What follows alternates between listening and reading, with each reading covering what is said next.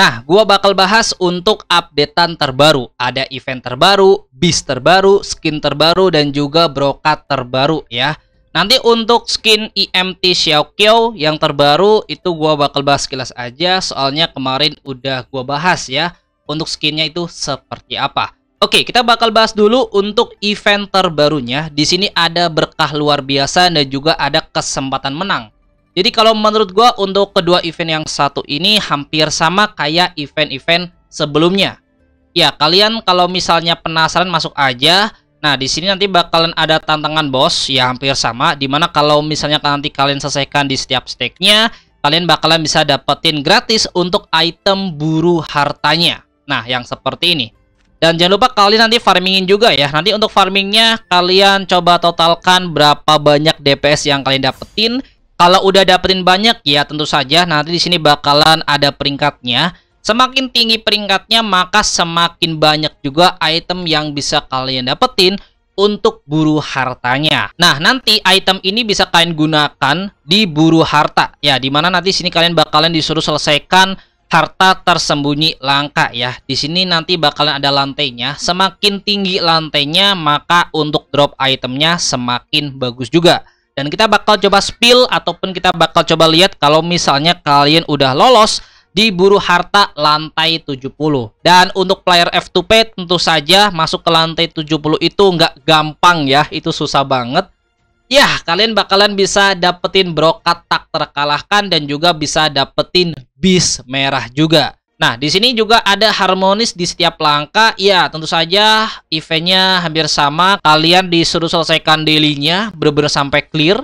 Kayak gini, nanti kalian selesaikan untuk potongan-potongan gambar yang seperti ini. Dapetin item buat gacha, dapetin ingot juga, guys ya. Kadang dapet ingot. Ini kita bakal coba lihat. Nah, ya ini, dapat ingot ya. Dan kalau misal kalian top up first itu juga nggak apa-apa di sini untuk dapetin item yang undian mewah opsional. Cuman di sini itemnya cuman dapetin satu ya satu satu satu.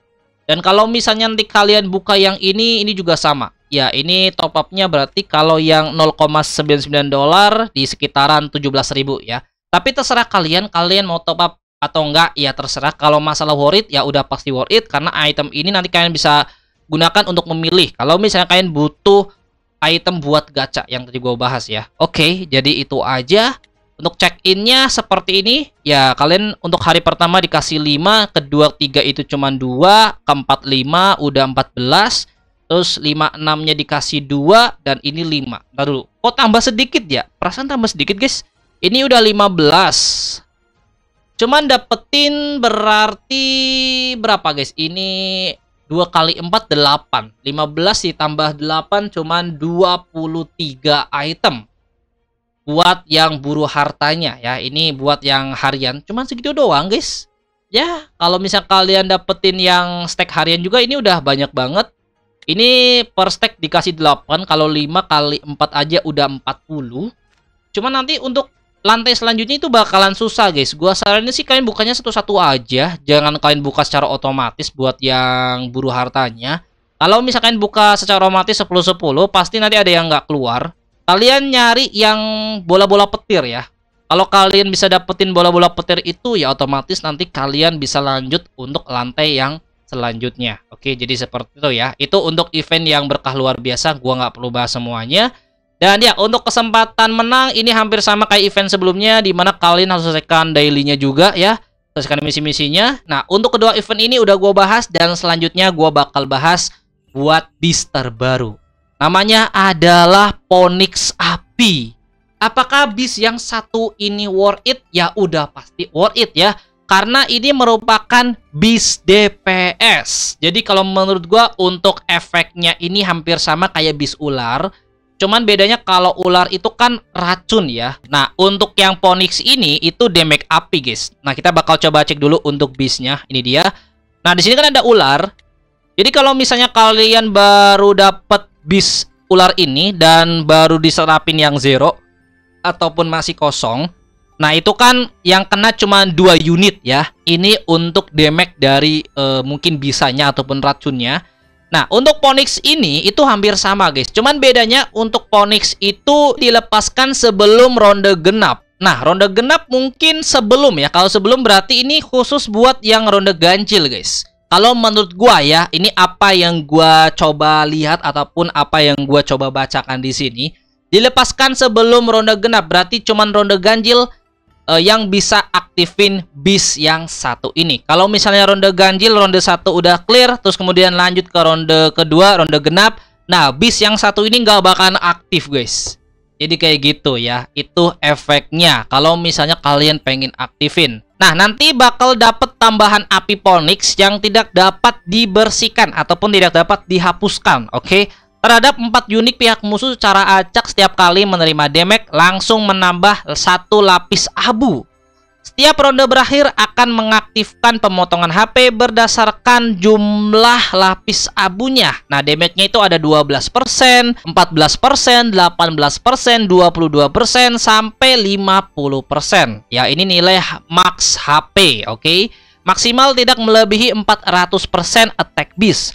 Berlangsung selama satu ronde, saat jumlah lapis abu mencapai pengaktifan tertinggi akan otomatis menambah satu lapis efek api Polnix pada ronde berikutnya.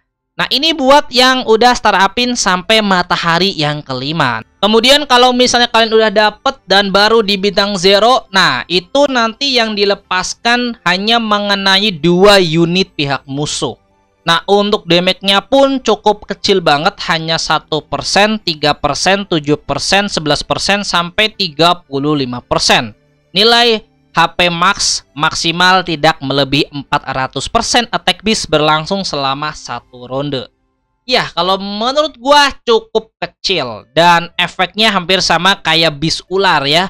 Bedanya kalau ular itu beracun, kalau ini berapi, guys. Itu aja sih kalau menurut gua ya. Dan untuk skin terbarunya, oke, okay, gua lupa nih. Untuk skin terbaru dari EMT Xiaoqiao, oke. Okay? Untuk EMT Xiaoqiao buat skin terbarunya mungkin kayaknya bakalan agak susah guys ya untuk kalian dapetin secara mudah kalau misalkan udah dapetin skin opsional. Tadi gua cek aja itu nggak ada ya. Mungkin ini bisa kalian dapetinnya hanya di tertentu doang.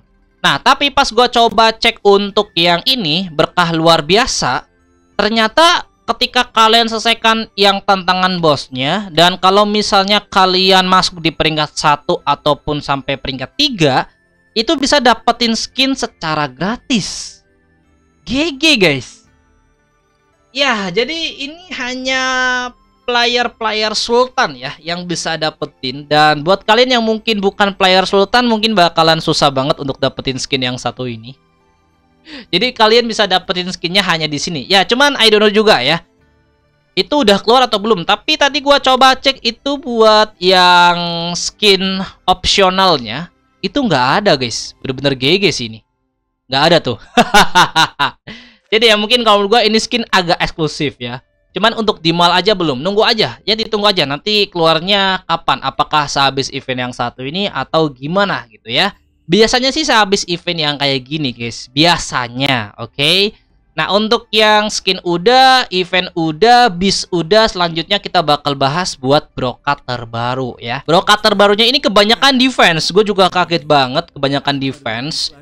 Tapi apakah brokat defense yang tak terkalahkan itu worth it, Bang? Worth it banget, coy. Ini justru buat kalian yang mungkin udah punya bis Yinlong yang bisa nambah shield, kemudian kalian punya EMT Guan Yu juga yang udah masuk di crown ya. Apalagi ketika ulti dapat tambahan shieldnya juga. Kemudian kalian pakai hero Liu Shan. Liu Shan yang bisa ngasih shield. Nah itu juga tambah GG lagi guys. Jian Wei yang ngasih shield. Ini bakalan jadi OP banget kalau misalnya kalian pakai brokat ini. Nah, kita bakal bahas yang pertama brokat terbarunya. Di sini ada brokat ketangguhan. Oke, jadi untuk efek di awal, setiap kali rekan tim terkena serangan langsung, dia akan menerima perisai pelindung sebesar 1% dari HP maksimum. Setiap serangan dihitung hanya satu kali. Dan kalau misalnya udah masuk sampai bintang 5, setiap kali rekan tim terkena serangan, langsung dia akan menerima perisai sebesar 5% dari HP maksimum. Setiap serangan cuma dihitung satu kali doang. Setiap kali diaktifkan akan menambah perisai pelindung sebesar 3% dari HP maksimum untuk semua rekan tim. Oke, jadi kelebihan cuman ini dan itu hanya menambah satu persen doang. Kayaknya untuk brokat ketangguhan ini kalau menurut gua worth it juga guys. Soalnya satu persen, ya mungkin kalian lihatnya cukup sedikit, cuman ini setiap serangan, setiap serangan dihitung satu kali, satu kali mungkin satu tambahan perisai pelindung, mungkin guys.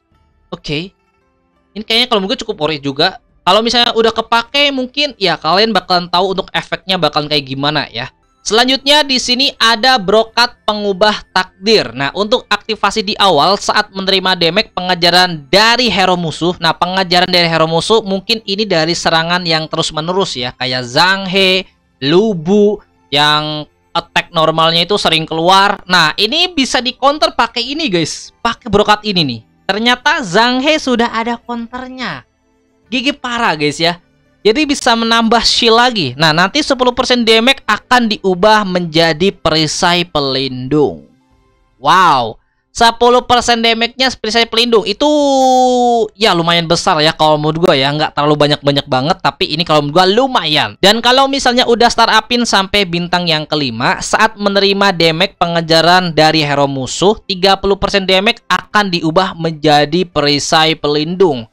Setiap hero mati 30% dari nilai HP maksimum, hero dengan darah rendah akan dipulihkan dan akan mendapatkan reduksi kekebalan damage akhir sebesar 50% yang tidak dapat dihilangkan selama satu ronde. Wah gila tambah tebel coy.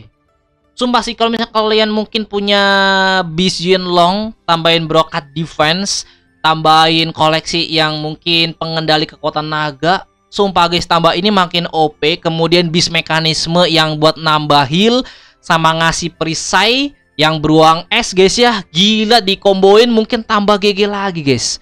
Ya, semuanya kalau gue ini cukup GG tapi tergantung uh, apa namanya guys ya. Bis mekanismenya kayak gimana yang kalian punya. Kalau kalian nggak punya beruang es ataupun yang gajah yang mamut ya, Ya mungkin brokat ini kalau menurut gue agak kurang. Kalau kalian dikomboin sama bis mekanisme yang kayak gitu, worth it guys. Ini udah pasti worth it sih kalau gue sih. Udah pasti worth it ya. Oke, jadi itu aja untuk pembahasan buat updatean uh, event terbaru, brokat terbaru, skin terbaru dan juga bis terbaru ya. Untuk yang lain belum ada dan untuk kode redeemnya gue udah coba cek di official Facebook itu juga nggak ada. Oke itu aja untuk pembahasan gue. Semoga kalian suka. Kalau misalnya ada tambahan, komen aja di kolom komentar seperti biasa. Cuman untuk balas komennya ya sebisa gua guys ya. Oke, I'm sorry banget ya. Nanti kita bakal coba lanjut lagi di next video. Sampai jumpa. Bye-bye.